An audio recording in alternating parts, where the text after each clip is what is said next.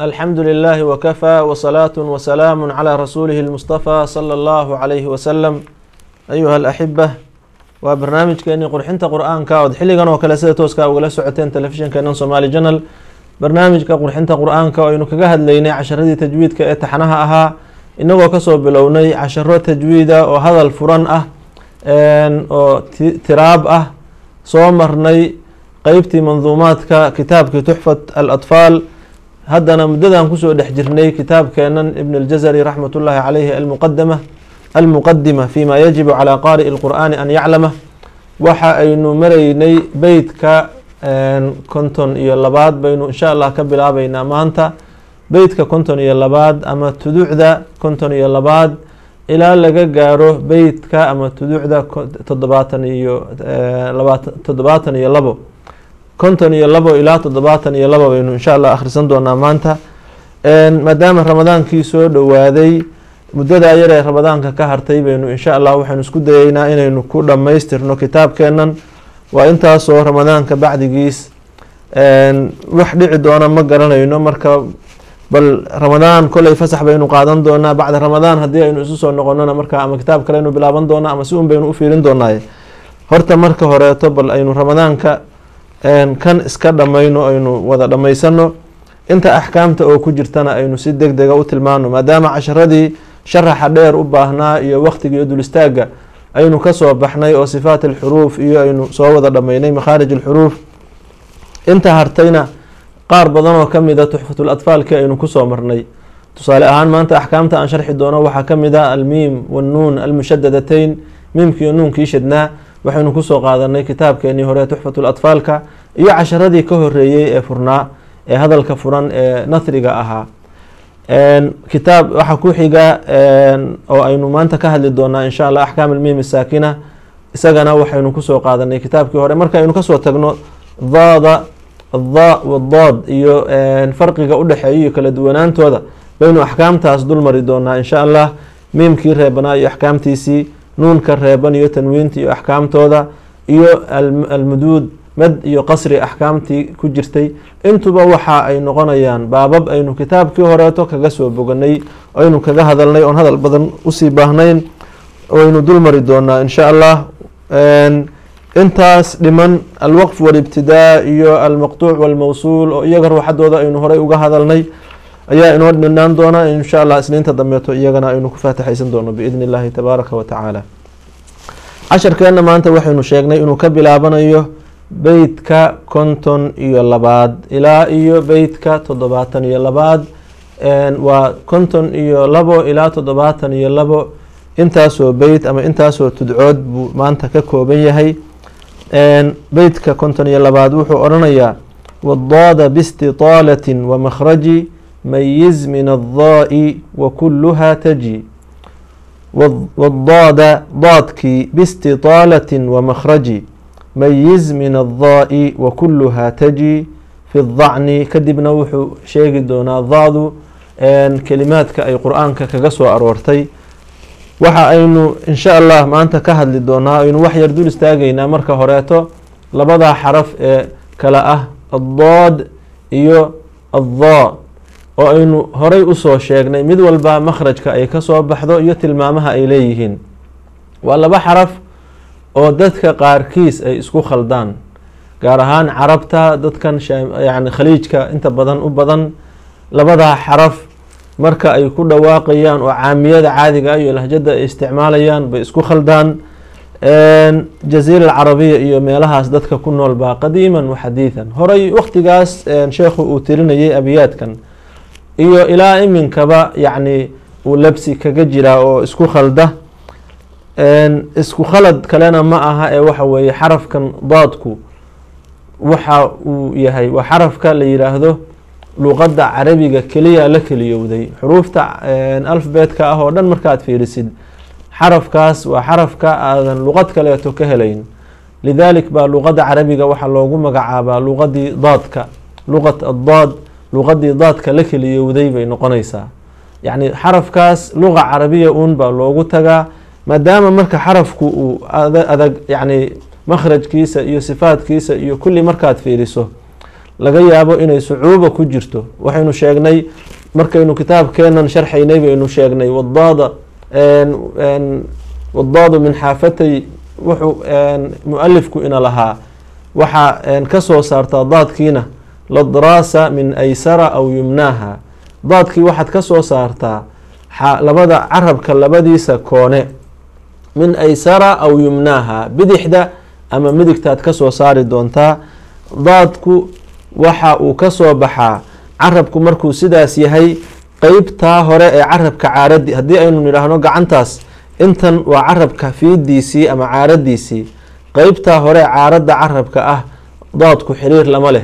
Lidaalika qofka isticmaala halkan oo ad yidhaahda wuxuu tegay booskii dooda iyo daalka iyo ay ka soo baxayeen buu joogaa mana helayo oo way ku adkaanaysaa inuu daadkii helo.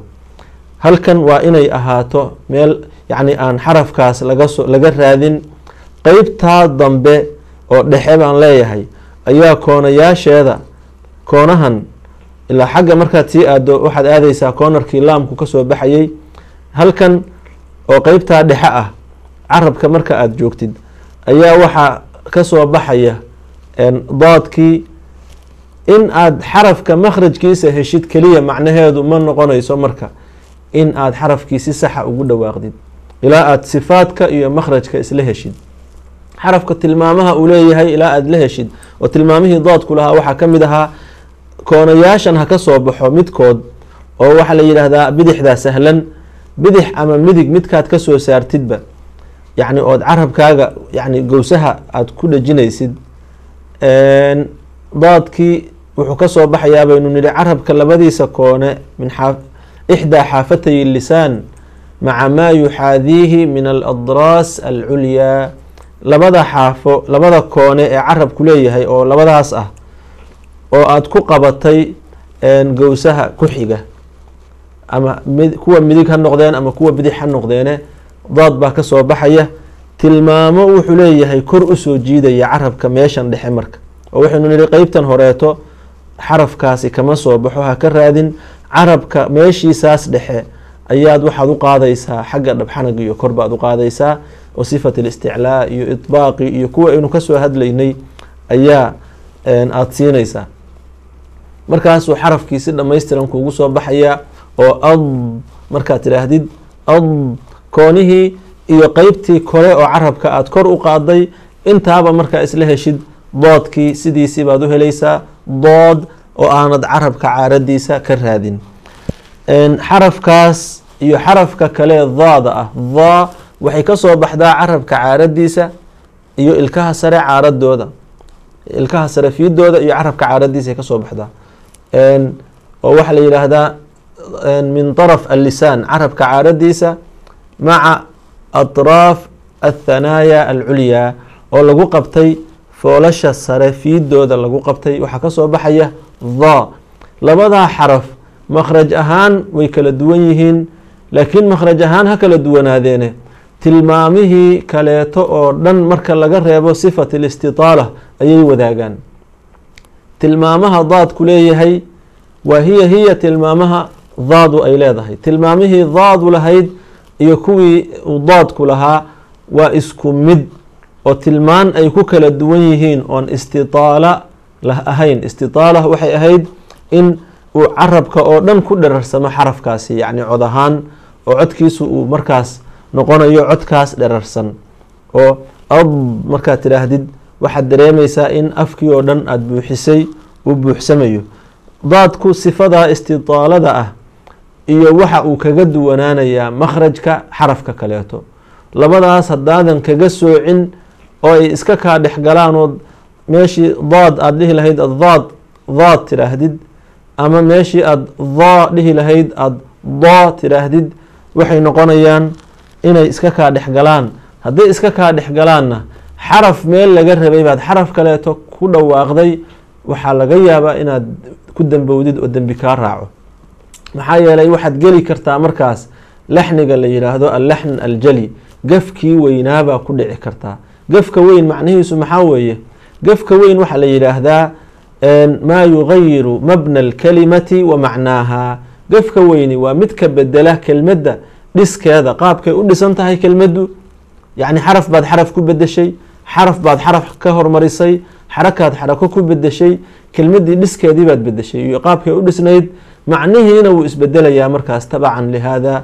Marka in inuu isbedelo macnaha kelmadda iyo mabnaheeduba waxaa la yidhaahdaa waa gaf weyn waa laxn jali waa gaf muuqda daahir yacni gaf muuqda iyo gaf qarsoon baa kala jira. Allaxn alkhafi waa gaf qarsoon oo waxa garanaya dadka ahlul ikhtisaaska ah laakiin qofka aan tajwiidka iyo yacni culuumtiisa garanayn waxaa laga yaabaa inay u dhuumato oo uu garan waayo oo uu fahmi waayo ahlul ikhtisaaska iyo dadka qur'aan ruugga ah ee axkaamta qur'aanka iyo tajwiidka garanaya ayaa garanaya. Saasaa waxaa loo leeyahay waa khafi. Laakiin kan kaleeto qofku hadduuba higaadii garanayo. Inaad laba xaraf kala hormarisay ama aad yani kala dameysiisay ama aad isdhaafisay amaad xaraf xaraf ku bedeshay amaad xarako xarako ku bedeshay qof walba oo higaada yaqaanaa wuu arki karaa waa gaf muuqda weeye. Gafkaa muuqda haddaad ku dhacdo macnihiina wuu isbedelayaa kelmadiina kelmad kaleetay noqonaysaa waa xaraf aada xaraf kale ku bedeshay wa rubamaa ya'tham saaxibuhaa. Yacni gafkaas ama saaxibu hada alkhata saaxibuh gafkaa qofka ku dhacaa waxaa laga yaabaa inuu dembi ka qaato laa siyama hadduu yahay qof caamid ah oo u qasday. Oo tusaale ahaan maalin dhoweydoon arday qur'aan ka dhegeysanayey ayuu wuxuu akhriyey waid najaynaakum min aali fircawn. Suurat albaqara ayuu ka baxayey yudabixuuna abnaa'akum. Meeshii ahayd abanaa ba-dii iyo nuunkii buu kala hormariyey. Oo wuxuu yihi yudabixuuna anbaa'akum yudabixuuna anbaa'akum marka la akhriyo oo ba-dii iyo nuunkii aad kala hormariso meeshii ahayd abnaa. Abnaa iyo anbaa laba macnoo kala duwan baa meeshii ka soo baxaya oo anbaa waa war waa xog iyo akhbaar. Abnaana waa waa ubad iyo ilmo. Yacni ilmihii ama ubadkii iyo dhashii in lagu bedelo xog iyo war waa laba macne oo kala duwan. Muraadkii rabbi ula jeeday aayaddana waad khilaafaysaa lidaalik baa waxaa loo leeyahay sidaas darteed qofku uu ku dambaabi karaa. Laxniga jeliga ah qaababkiisa waxaa ka mid a inaad xaraf xaraf ku bedesho yani waxaa ka mid a inaad xaraf xaraf ka hormariso sidaynu hadda sheegnay. Waxaa ka mid a inaad xarako xarako ku bedeshid sida siraata aladiina ancamta calayhim bay ahayd. Ancamta haddii qofka akhriyaya uu ancamtu akhriyo wuu ku dambaabi karaa. Maxaa yeelay aayaddu waxay ka hadlaysaa jidkii rabbiyow adigu nicmays kuwaad u nicmaysay siraata aladiin wadadii iyo toobiyihii aada qaadsiisay ood marisay aladiina ancamta calayhim kuwii aada adigu rabbiyow u nicmaysay haddaad ancamtu tiraahdo ta'daasi ta tii faacilkay noqonaysaa oo waxay noqonaysaa aan anigu u nicmeeyey oo qofkaa wuxuu sheeganayaa subxaana allah inuu isagu yahay kii muncimka ahaayee nicmeeyey buu sheeganayaa wuu ku dembaabi karaa. Haddii aada ancamti tiraahdona foolxumo kaleetay noqonaysaayoo dembi kalaaba kaasii raacaya. Gefka noocaas oo kale anade qofku inuu kitaabka si fiican u fiiriyo oo uu xarakadii iyo xarafkiiba ilaaliyo ayuu kaga bixi karaa oo uu barto axkaamta yani akhriska yani cilmiga akhriska iyo iyo rasmiga qur'aanka. Inuu barto buu insha allahu kaga fogaanayaa. Inaad marka xaraf xaraf ku bedeshid waynagii sheegnay oo casharkani waxay ahayd marka halkan uu ka hadlayo mu'alifku tarkiibka gabayga iyo qaabkuu isu saaran yahay waxaa fiicnaan lahayd in markii aynu sheegnay waraaci shidatan bikaafin wabita ka shirkikum watatawafaa fitnata. Abiyaadkaa markaynu ka hadlaynay waxaa ka horeeyey wakhalis infitaaxa maxduuran casaa maxduuran casaa infitaaxeeda muujibu ku lahaa khawfa ishtibaahihi bimaxduuran casaa haddii aada casaa meel ahayd casaa ka dhigto macnihii wuu isbedelayaa oo casaa waxa ay mudan tahay ama la rajaynayaa ayay ahayd oo siin marka la akhriyo. Haddaad saad ka dhigtidna waxay noqonaysaa waa ama ul bay noqonaysaa ama wuu caasiyey oo qofkaasi wuxuu noqday qof amar diido sameeyey laba macnoo kala duwan baa soo baxaya sidoo kaleeto halkan markii aada xaraf xaraf kale ku bedesho macne ka duwan macnihiibaa soo baxaya.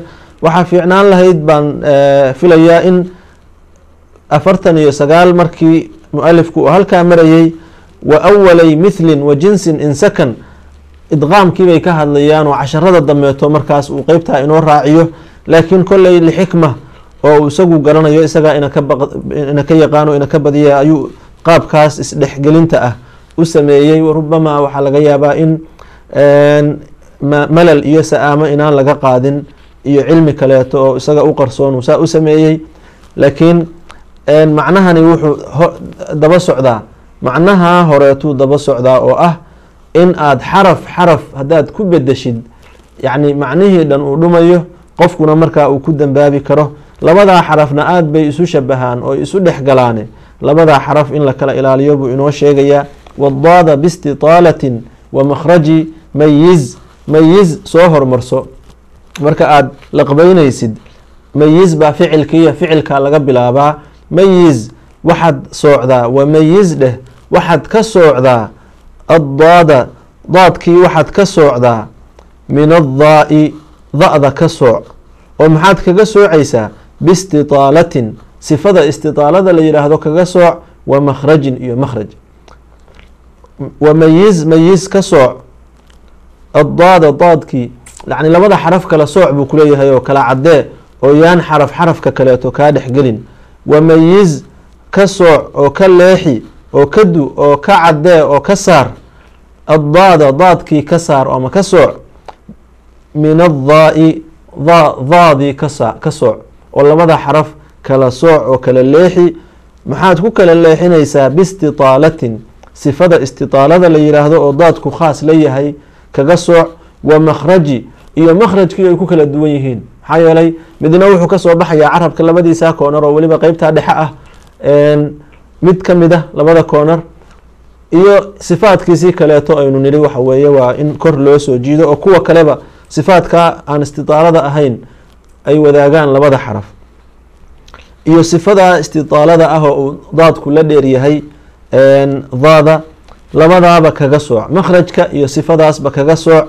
Wa kulluhaa kulligeed wa kullu daa-aati fi lqur-aan halkan waxa uu ka wadaa kulluhaa daadaas kulligeed kelimada xarafka daa la yidhaahdo kelimaadka uu qur'aanka kaga soo arooray oo dhan buu rabaa halkan inuu kuugu sheego. Wuxuuna taa u qaadanayaa horay markii aynu dib u noqonno sifaat alxuruuf markuu ka hadlayay mu'alifku wuxuu inoo sheegay sifaadka qaarkood sida hamsiga iyo jahriga iyo markuu tirinayay qaar buu xuruuftoodii nasan ku sheegay abiyaadka.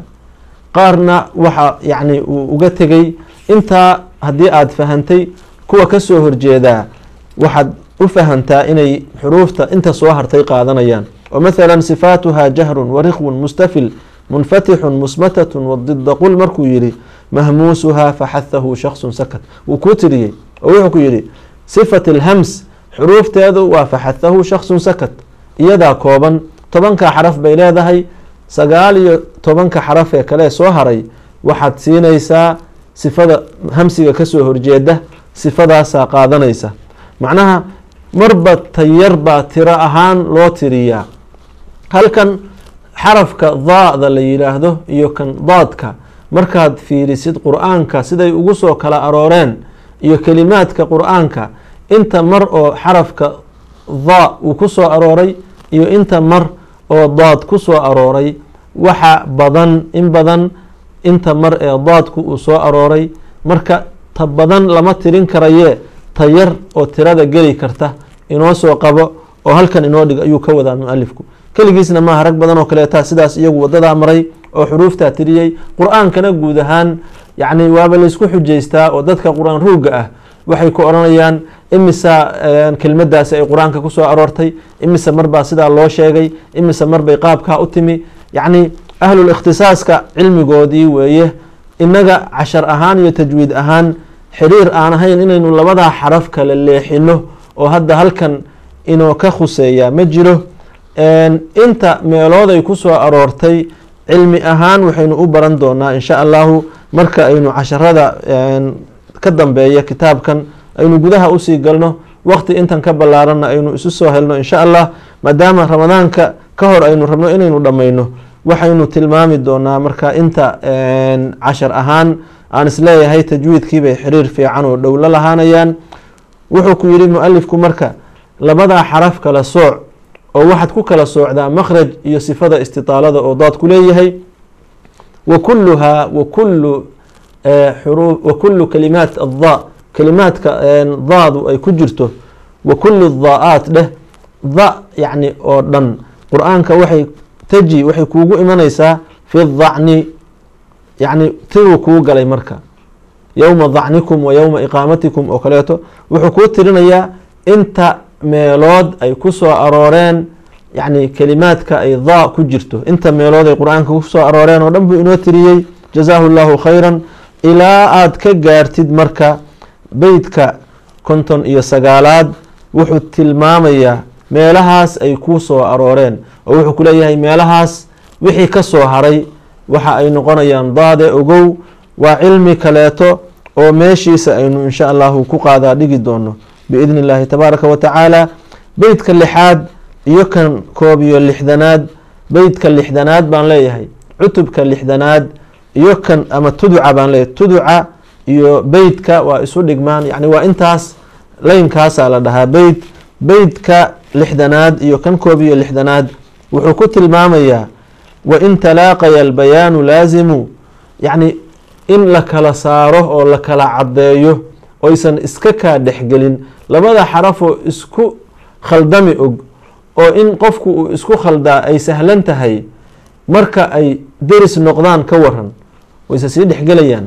Markaasoo kaleeto ayuu leeyahay ka taxadar oo yay iska kaa dhexgelin. Anqada dahrak iyo yacadu daalimu labadaa xaraf meelaha ay ku kulmayaan kala ilaali oo daadkii iyo daadu hadday dersaan yay iska kaa dhexgelin oo midkood uu kan kaleeto ka xoog badan ousan galaafane kala saar wa in talaaqayaa hadday kulmaan albayaanu laasimu laazima albayaan waxaa laasim ah oo waajibah inaad kala cadaysid ood kala saartid. Yacni xuruuftu inay marka ay deris noqdaan la kala saaro casharkii horey dabcan xiriir la lahayd waxris cala sukuuni fi jacalnaa ancamta walmaqduubi mac dalalnaa meelahaas marka aynu tilmaamaynay ayay ku haboonayd qeybtanina inay xaggaa inoo ku timaado wain talaaqayaa hadday kulmaan labada xaraf ee daadka iyo daadu kala saar oo kala cadee aladii yani suurat alam nashrax laka sadrak baad ugu tegi doontaa insha allah meeshan anqada dahrak uu tusaale ahaan kuugu keenayo yacadu الظaalim wayowma yacadu الظaalimu calaa yadayh oo insha allah suurat اlfurqaan aynu ku arki doono meelahaasoo dhan kala cadee buu leeyahay intaas marka haddii aynu kaga soo tagno addaad daadka addaada iyo wadaa farqigooda iyo qaabka aynu u kala ilaalinayno u kala leexinayno keligoodna maaha xuruuf fara badan oo waxaa jirta sidaas inaga soomaali ahaan gaar ahaan inoo dhibta daadka iyo daad oo kaleetaynu isdhexgelinaa waa aniga sheegay oo idhi daadu waxa ay ka soo baxdaa carabka caaradiisa. Xarafka too too waa carabka caaradiisa ood ilkaha sare jiridooda ku qabato laakiin daadku halkan buu sifa ahaan u isticmaali doonaa. Xagguu ka soo baxaa koonaha ah labadaa koone midkood halkanna sifo ahaan buu u isticmaalayaa. Qeybtan hore oo carabka caaradiisa ah daadku xiriir lama lehe ka ilaali. Haddii aada saas samaysid waxaa sahlan inaad xarafka daadka ah heshid. Culimmaduna marka ayna barayaan waxayna yidhaahdaan xarafkaas si aada daad ugu dhawaaqdid waxaad ku qabataa carabka caaradiisa farta oo shaqada ka fariisi carabka caaradiisa si carabka qeybta dhexe ay iyadu automatic ahaan kor ugu dhacdo. Oo waxaad odhanaysaa sidan tusaale ahaan. Ab ab ab ab saasaad ku celcelinaysaa oad ku baranaysaa ilaa uu la qabsado xarafkaas carabku inuu kor iska aado marka aad ku dhawaaqaysid oo sifaadkii kor ka doono makhraj ahaana uu koonaha qabsado. Baaraka allahu fiikum waxa aynu insha allahu sii wadanaynaa casharkeenna qeyb cusub ama qeybtan wuxuu kaga hadli doonaa oo halkan uu inoo ku tilmaamaya beytka lixdan iyo labo ilaa iyo lixdan iyo afar laba xukun oo kala duwan buu ku sheegay wa adhir ilgunnata min nuunin wa min miimin idaa maa shudida marka uu intaas tilmaamayo wuxuu kaaga hadlayaa nuunkii iyo miimkii shadnaa waqunna miiman huma nuunan shudida wasami kulan xarfa gunatin badaa baynu waxaynu ku soo qaadanay kitaabkeenii hore tuxfat latfaalka oo waxaynu lahayn nuun iyo miim haddii ay shadmaan nuun shadan iyo miim shadan marka ay ku yimaadaan waxaad samaynaysaa waa inaad qunadooda caddaysid ood muujisid. Wa adhir ilgunnata gunnada caddee min nuunin nuunta u caddee wa min miimin iyo miim min nuunin gunnada miim ka imanaysa wa min nuunin iyo wa min miimin. Wa adhir ilgunnata gunnada caddee oo muuji min nuunin xaalay tahay gunnadaasi mid nuun yacni ay keentay oo nuun ka timi. Wa min miimin iyo mid miim ka timi idaa maa shudida marka la shado miimka iyo nuunka marka la shado gunnadooda caddee oo muuji oo min aljinnati waannaas min aljin haddaan sanka isqabto kuma dhawaaqi karayo. Min aljin jin jin ma soo saari karo. Maxaa yeelay qunne waxaynu nidhi waa sawdkaas ka imanaya khayshuumka waa sawt ladiida oo yakhruj min alkhayshuum qunna la yidhaahdaa nuunka shadan iyo miimka shadanba waxay leeyihiin qunna sifadaasay leeyihiin waa inaad saa u samaysid marka. Suurat innaas haddaad akridid qul acuudu birabbi innaas maliki innaas saa inaad u akridid sax maaha yani waxaa la rabaa in waqti bay leedahay qunadu miqdaar bay leedahay. Miqdaarkeeda inaad dhammaystirtid ood miqdaar xarakateyn siisid. Qaabkaasna aada u muujisid baa la rabaa qul acuudu birabbin birabbin haddaan sanka isqabto ma ku dhawaaqi karo maxaa yeelay qunadii baan xanibayaa oo aan caburinaya wa adhir ilgunnata min nuunin wa min. Qunada nuun iyo miim ka imanaysa wa min miimin nuun iyo miim qunadooda caddee idaa maa shudida marka la shado kadibna wuxuu gelayaa markaas axkaamtii miimka reeban uu sida gaarkaa u lahaa. Miim reeban wuxuu leeyahay axkaam saddexa sidaynu sheegnay miimka reebani. Haddii miim reeban miim kaleeto xarakaysan xarakada saaran miimka dambeeto ama kordhig ha ahaato ama hoos dhig ha ahaato ama godniine miimkii reebanaabaa miim xarakaysan gadaashiisa yimi. Wuxuu noqonayaa miimka hore ee reeban in la dhex geliyo miimka xarakaysan oo miimkii reebanaabaa wuxuu ku milmayaa oo uu dhex gelayaa kii xarakaysnaa. Idqaam mithlayn baa la yihahdaa laba midoo isku mid ah isdhexgelintood labadii mid ee isku midka ahaa in la isdhexgeliyo. Casharkaasi wuxuu dib inoo ku celinayaa isaga iyo kaka dameeya axkaamu nuunu saakina watanwiinba wuxuu dib inoo xasuusinayaa wa awalay mithlin wa jinsin in sakan adqim ka qur rabbi wa ballaa wa abin. Markaynu casharkaa tilmaamaynay waxaynu sheegnay awalay mithlin wa jinsin. Labada isku midka ah yacni idqaamulkabiirkiibaa hadhow halkaas soo geli doona.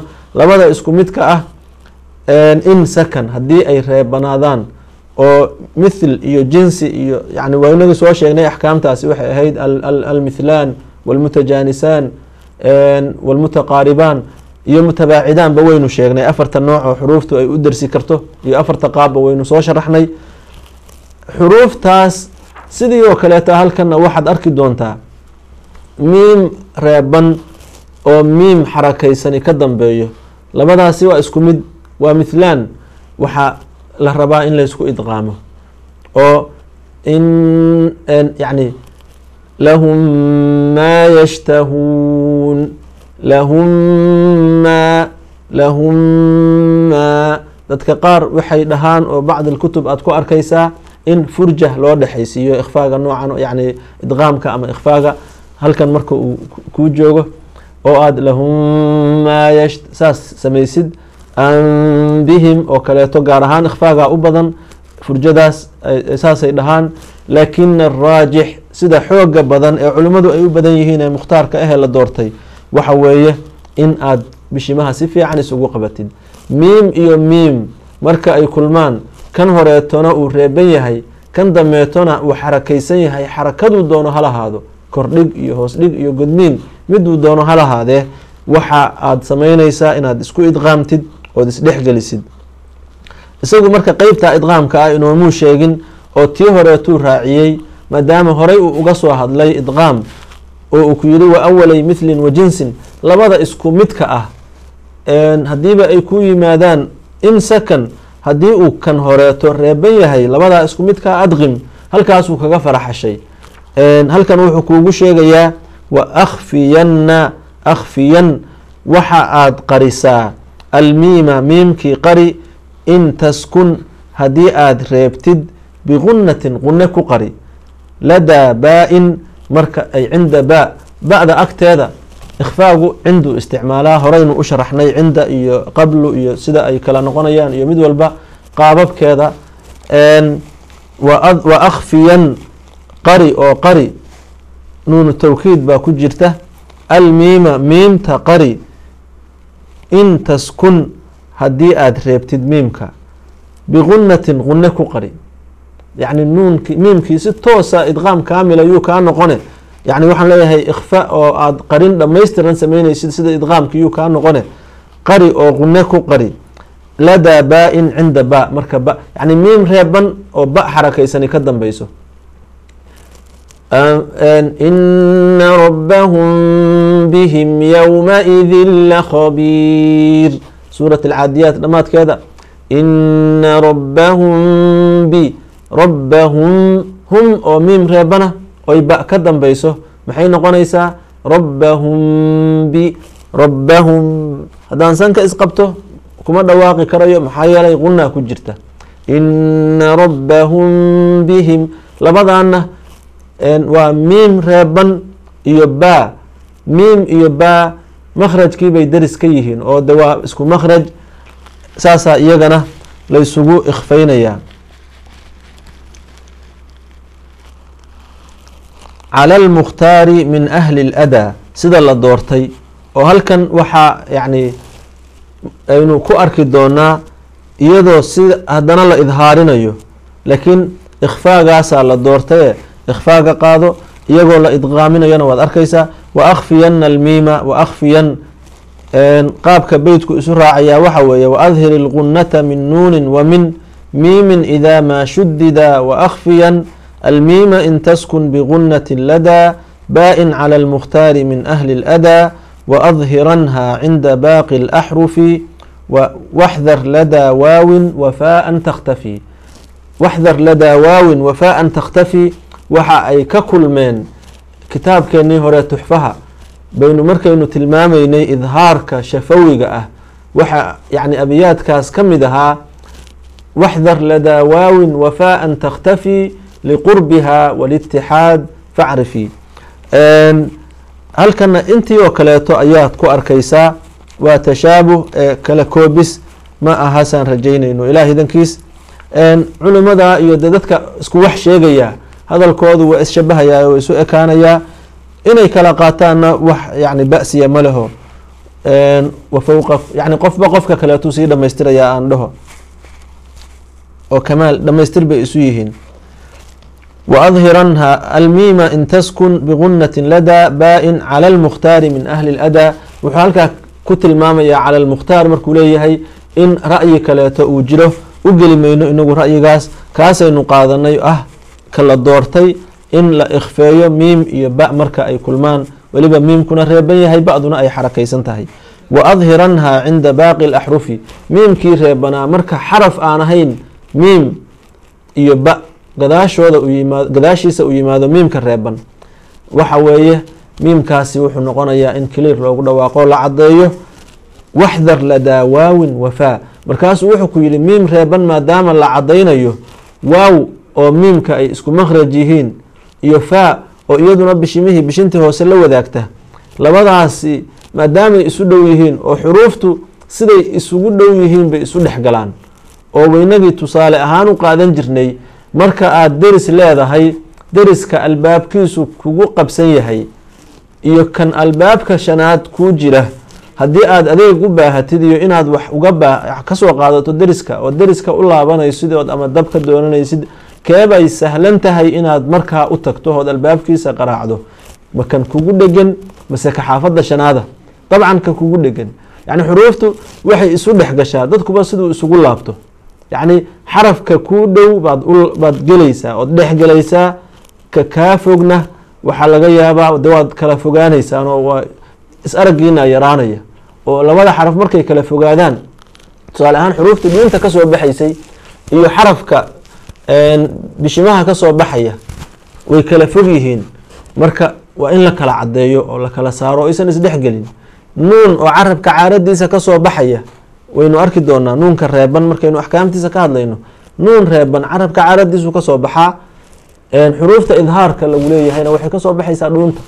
Maadaama ay kala fogaadeen makhraj ahaan yacni inay isu galaan oo isu laabtaan oo sida dadka aynu ka sheegaynay way kala way adkaanaysaa. Kuwa ka sokeeyaa uga sahlan oo kuwaasoo keebuu nuunkii ama idqaam aada arki doontaa in lagu idqaamo ama lagu ikhfeeyo uu ku dhex dhuunto. Laakiin waa la idhaarinayaa xuruufta idhaarka oo dhuunta ka soo baxda marka nuun reeban iyo tanwiin la soo gaaro. Maxaa yeeley nuunka reebanaana carabka caradiisuu joogaa kuwanina dhuunta iyo xaggaa shishay joogaan waa kala fog yihiinoo deris kaleeto uga sokeeyaho uu ku laaban karo ayuu helayaa wey. Waxdar ladaa waawin wafaa wow iyo fa ka digtoonow marka yani miimkii reebanaa aada idhaarinaysid ood kaliir ugu dhawaaqaysid waxaad iska ilaalisaa ood ka digtoonaataa ood ka fogaataa in wow iyo faa an takhtafi inay kaa qarsoomaan oy kaa dhex galaan. Markaasuu sii dhammaystirayey tuxfat latfaal oo wuxuu lahaa liqurbiha walitixaad liqurbiha fi lmakhraji fi lfa fa'dii iyo miimkii. Waxaa ka dhexeeya qurb iyo taqaarub waa deris oo isu dhow yihiin saasay isu dhex galeen. Waawga iyo miimkana waxaa ka dhexeeya itixaad wax la yihahdo waa isku mid oo labaduba bishimahay ka soo baxaan. Oo miimkuna bishimaha cinda idbaaqi shafatayn iyo marka bishimaha la isku qabtuu soo baxayaa waawguna cinda infiraajihima iyo marka bishimaha aad kala qabatid buu soo baxayaa wa iyo ma am am iyo aw. Yacni labadaa xaraf waawga iyo iyo miimkana cilada keentay in ay isdhex galaan oo yacni ay iska kaash dhexgeli karaan oo lagu yidhaahdo iska ilaali waxa weeye makhrajkoodiibaa isku mid ah. Fa'dana way isu dhow yihiin oo fa'du min batni shafa sufla maca atraaf athanaaya alculyaa bay ka soo baxaysaa. Sidaynu horeyba u soo sheegnay. Axkaam almiim asaakina oo aynu horey sharax ahaan ugu soo qaadanay hadalkii tiraabta ahaa ee furnaa iyo kii tixda ahaa ee manduumka ahaa ee aynu ku soo qaadanay gabaygii hore tuxfat latfaalka intaasaynu insha allah kaga gudbaynaa. Mualifkuna uu kaga gudbay waxa uu markaa gelayaa qeyb kaleeto oo la yidhaahdo axkaam annuun asaakina watanwiin oo iyadana aynu xukun ahaan wada garanayno in ka dheregsannahay oon sharax u baahnayn.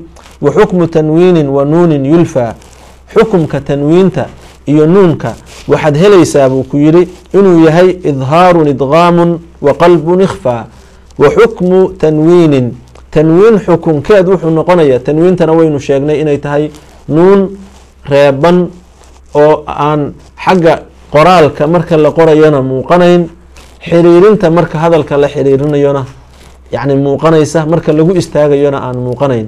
Yacni waa nuunun saakina talxaqu aakhira alasmaa'i isimka gadaashiisay gashaa oo ficil iyo xaraf nuun tanwiintu ma gasho tanwiintu calaamad isim lagu garto weeye isimka aakhirkiisayna gashaa talxaqu aakhira alasmaa'i lafdan dhawaaqa xaggiisa maaha qoraalka wa waslan iyo xiriirinta markaa xiriirinaysid wa tufaariquhu khatan wa waqfa waxayna ka hartaa oo nuuntaas aan aan lagu dhawaaqayn marka aada qoraysid lama muujinayo marka aada ku istaagaysidna ma muuqanayso oo way haraysaa.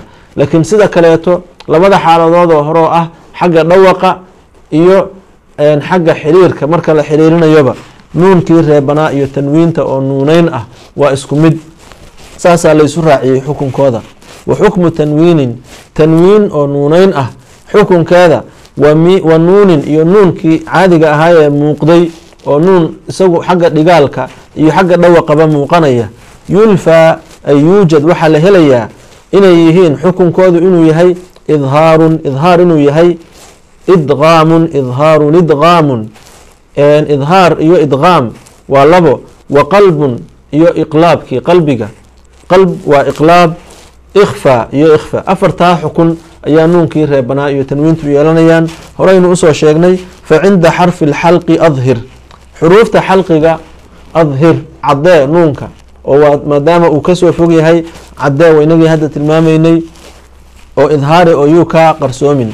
Wa adqim fi llaami waraa idqaam kaamil ah iyo isdhexgelin dhammaystiran waxaad ku samaysaa laam iyo ra marka aad yani uu ag yimaado. Nuunkii reebanaa iyo tanwiintii marka xarafka ka dambeeya uu yahay laam ama ra si dhammaystiran isu dhexgeli. Laa bigunnatin lazim. Wa adqim wadaqim waxa aad idqaamtaa ay wa adqim wadaqim dhexgeli oo ku baabi'i oo yani si toosa ha u dhexgalo nuunka reeban. Oo yuu muuqan macnaha marka nuun reeban xarafka ka dambeeya uu laam yahay nuunkii reebanaa toos buu xarafka kale u dhexgelayaa qaab shad ahaanuu uga soo muuqanayaa ka-anuu inuusan marka meeshaba oo leyn baa ugu dhawaaqaysaa. Min rabbihim mir maba akhriyaysid aada markaas nuun oo min ma dhahayside mi markaa ka dhaqaaqdo ra shadan baad u tegaysaa. Mira milla mi markaa ka dhaqaaqdo laam shadan baa u tegaysaa. Tanwiintuna waa sidaas oo kaleeto wadaqim fi laami wara waxaad ku idqaamtaa laamkiiyo ra-da laa bigunnatin min gayri gunna iyadoo aanad neef ama codsanka ka imanaya aanad ku darin lazim.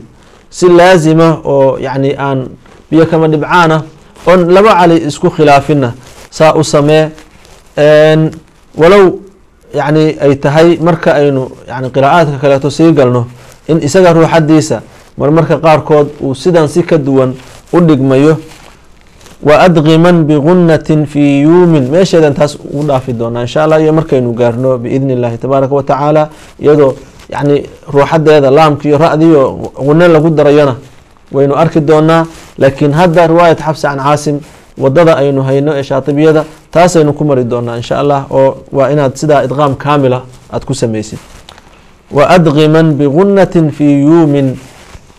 Xuruufta idqaamku waxay ahaayeen yarmaluun ra-da iyo laamka oo marka aad ka reebto yuumin afartii xaraf oo kaleeto waa idqaam naaqis ama idqaam min ayr idqaam bigunna yuuminna ku idqaam ilaa bikilmatin ka dunyaa canwanu wuxuu halkana kaaga ishaarayaa dunyaa haddii nuunkii reebanaa iyo xarfaka xarafka la idqaamaye ama ya ama wow ah. Labadaasaa qur'aanka ku soo aroortay sidaynu sheegnay wow iyo ya. Xarafka nuunka reeban iyo xarful idqaamku hadday hal kelmad wada galaan xukunkii meeshaas ka soo bixi lahaa ee idqaamka ahaa wuu isrogayaa oo wuxuu noqonayaa idhaar mutlaq yacni idhaar mutlaq baa la yidhaahdaa waa la idhaarinayaa kelmadaas saasaana loogu idlaaqay oo magacaasaa la siiyey. Dunyaa ma dhahaysid dunyaa oo sida kuwa kaleeto uguma dhawaaqayside nuun reeban iyo ya weeye way kulmeen idqaam bay lahaayeen laakiin maadaama ay hal kelmad wada galeen waa la idhaarinayaa qur'aankana waxaad ku arkaysaa dunyaa meeshay ku soo aroortayba bunyaanun iyo iyadana meeshay ku soo aroortayba iyo sinwaanun iyo qinwaan oo laba meeloodun aad ku arki doontid laba suuradood baan leeyahay. Sinwaanun wagayru sinwaan iyo qinwaan. Labadaas afartaas xaraf waa sinwaan sinwaan iyo qinwaan oo ah nuun reebano wow ka dambeeyo.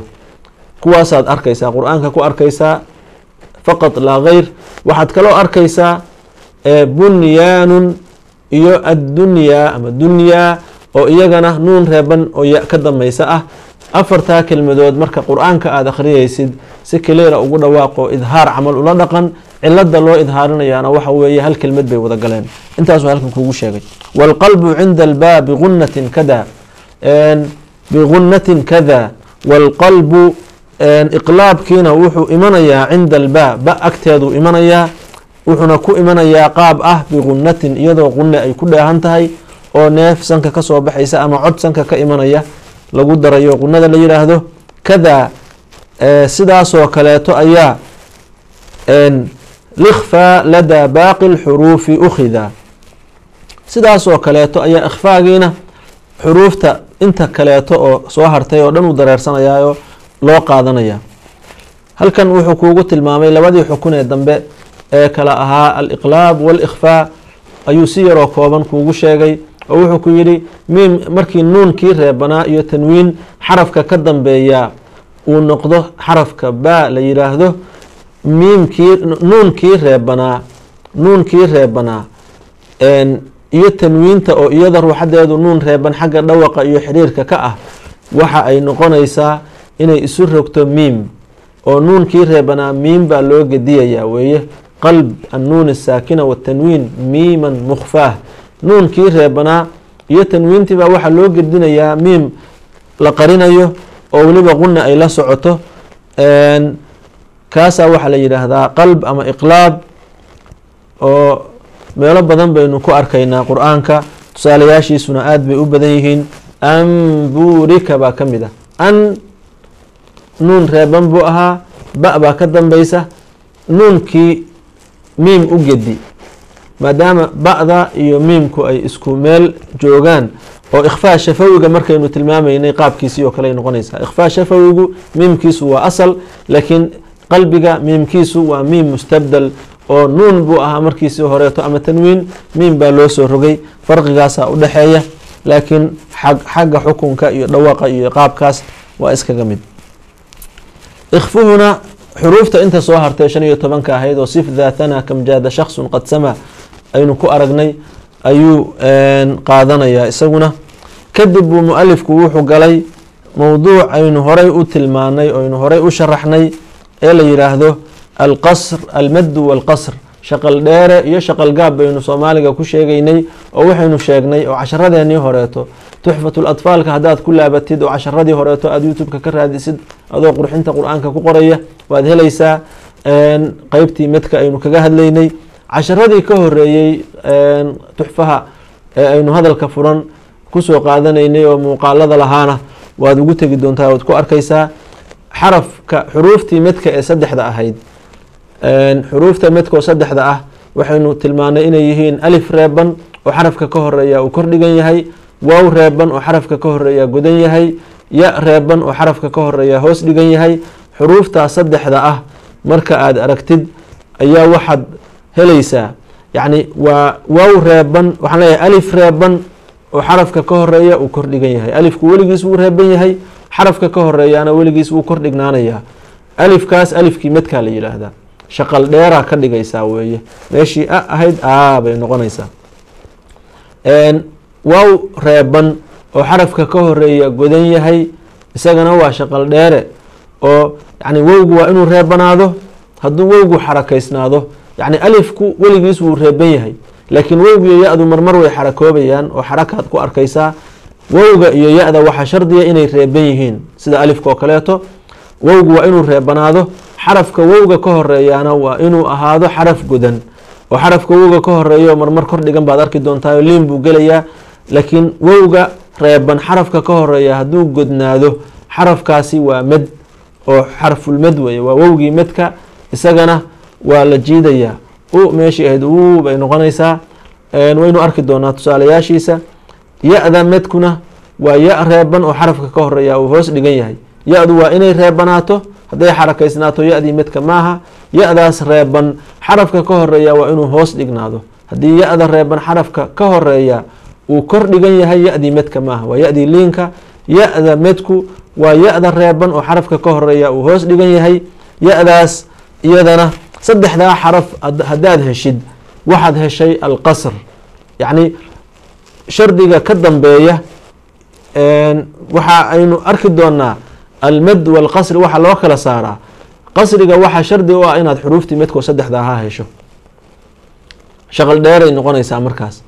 Shaqal dheere in la sii dhaafiyo inaga soomaali ahaan shaqal dheeray inoo joogtaa oo male luuqadeenu aadaas jiitamaysa maleh oo sii soconaysa. In shaqal dheerihii la sii dhaafiyo oo la dheereeyo carabigii iyo qur'aankaynu ku arki doonaa shaqal dheeraha la sii jiidayo oo la dhaafinayo waxaa la yidhaahdaa almad sababaa keena marka. Oo haddii xarafkii aynu sheegnaye aynu niri waa alifkii medka waana reeban yahay alifkaasi xarafka ka horeeyana waa kor dhigan yahay ama waa ya reeban oo xarafka ka horreeya hoos dhigan yahay ama waaw reeban oo xarafka ka horreeya uu godan yahay.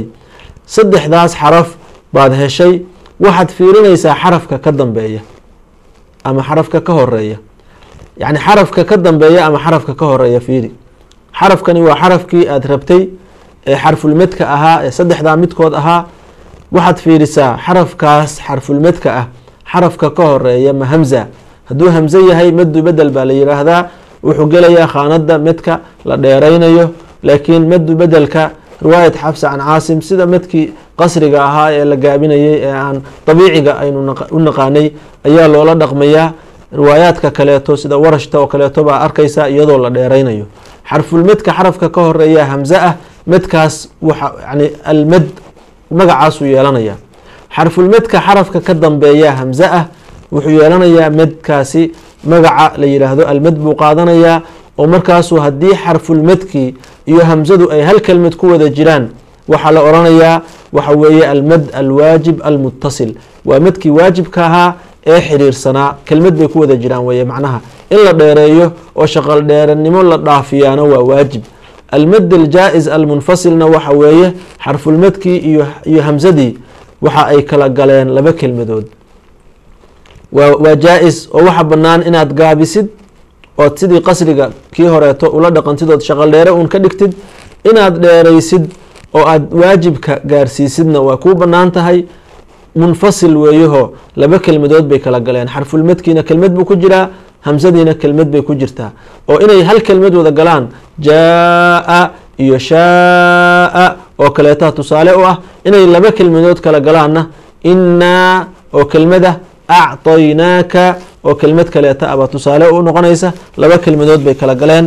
Medkaas waxaa la yidhaahdaa almed bisabab اlhamz in mid laga dhigo oo la dheereeyo oo shaqal dheeranimo la dhaafiyo qasriga uu dhaafo waxaa sababay hamza sababtay.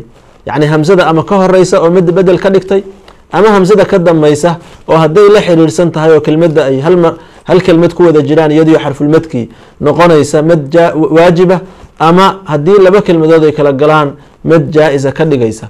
Hamza sababtay. Waxaa jira mid la yidhaahdo almed bisababi sukuun xarfulmedka waxaad fiirinaysaa xarafka ka dambeeya. Xarfulmedka xarafka ka dambeeya hadduu yahay xaraf reeban waxaad fiirisaa reebnidaas maxaa keenay? Baabkan dambe weliba gaar ahaan kitaabka baabkiisa u dambeeya ayaynu waxaynu ku arki doonaa yacni marka khaatimada intaan la gaarin ayuu wuxuu inoo tilmaamayaa meesha la yidhaahdo xarafka la xarakaynayo. Yacni xarafkii xarakaysnaa haddaad ku istaagaysid qaabkaad ula dhaqmaysid.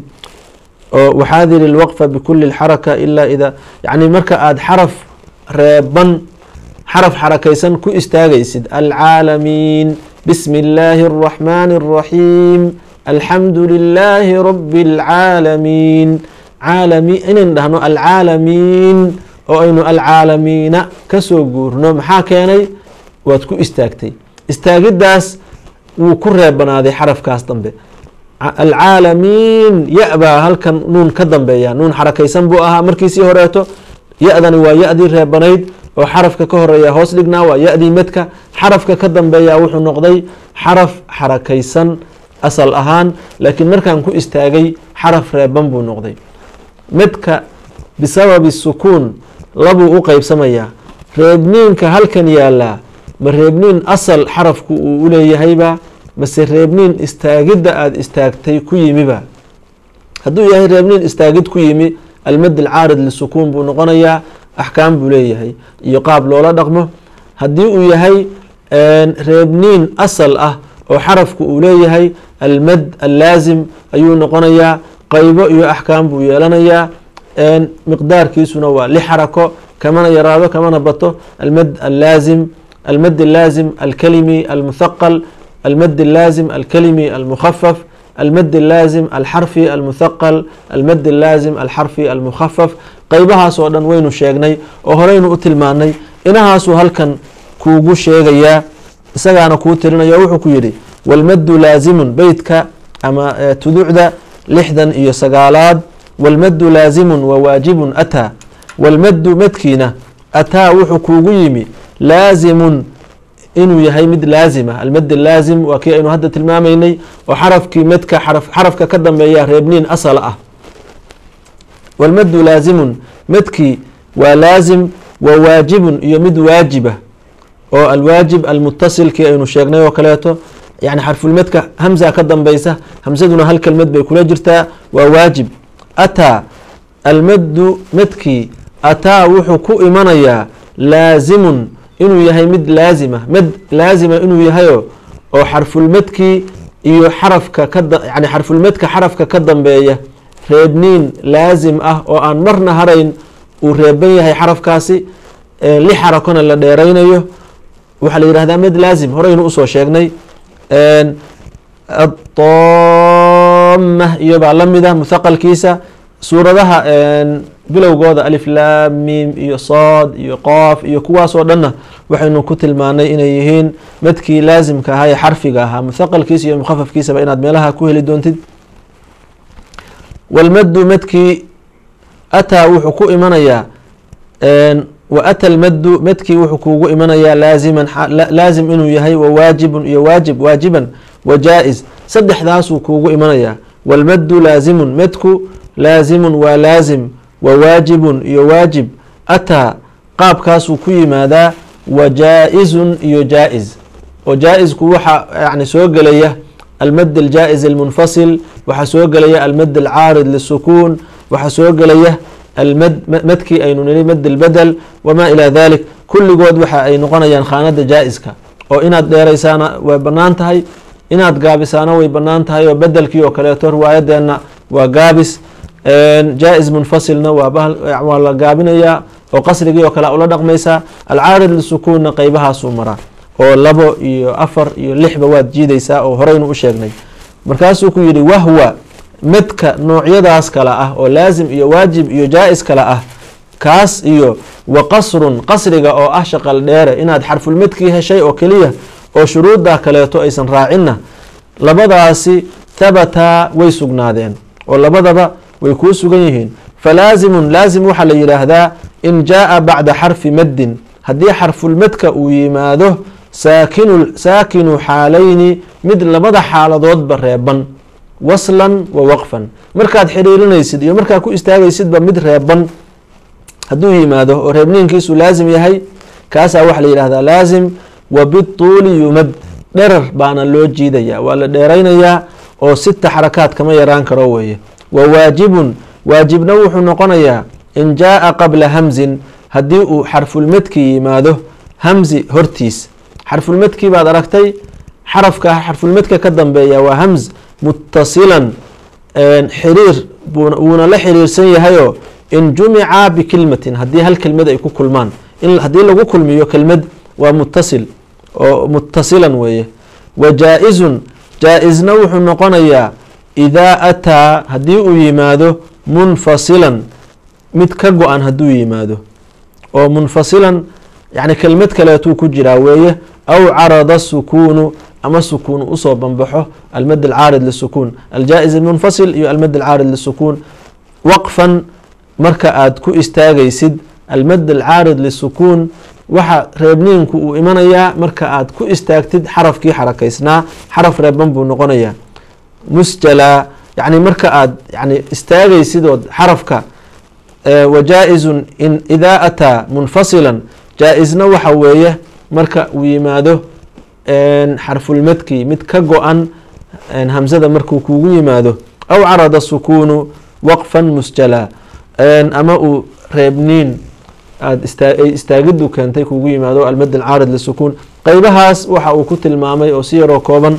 uu inoo ku tilmaamay mualifku almaddu walqasr farqiga u dhexeeya iyo madku inta noocuu noqonayo oo casharo horeeto aynu horey uga soo boganay kulligood ah oo aynu kitaabadii horeeto ku soo wada qaadanay oo inaynu hadda sharax waafiya ama dheeraada u sii galno aan u baahnayn inahaasaynu insha allahu maanta ku soo afmeeraynaa casharkeenna.